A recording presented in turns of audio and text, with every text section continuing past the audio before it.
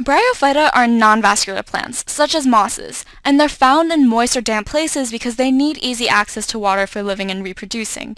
In order for fertilization to occur, the bryophytes depend on water to carry their male gametes over to their female gametes. They're also generally short because they don't have fortified tissue for support.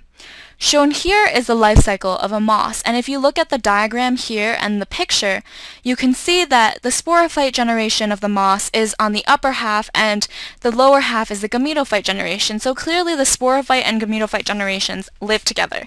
In fact, the sporophyte generation actually depends on the gametophyte generation for nutrients because only the gametophyte generation can photosynthesize. So that means bryophytes are gametophyte dominant, spending most of their lives as multicellular haploid organisms.